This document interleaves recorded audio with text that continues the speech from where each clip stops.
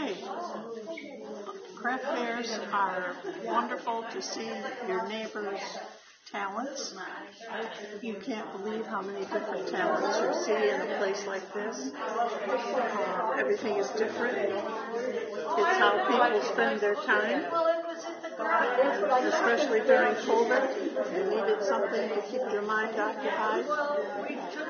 Crafts do that. Um, around and just see the wide variety of stuff that people can use and make something very nice out of it. That's